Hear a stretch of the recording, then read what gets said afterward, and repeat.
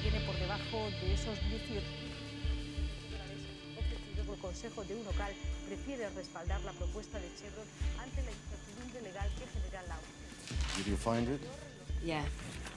Dominion or Blackstone hedge funds. Through Hong Kong Bank. Yes. The Ukrainian shipment? Eight tons small arms and RPGs.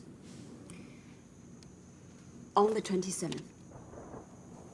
Tell me about the deal in South Florida. They want 18% of the product to bring in loads. They guarantee them. Our risk goes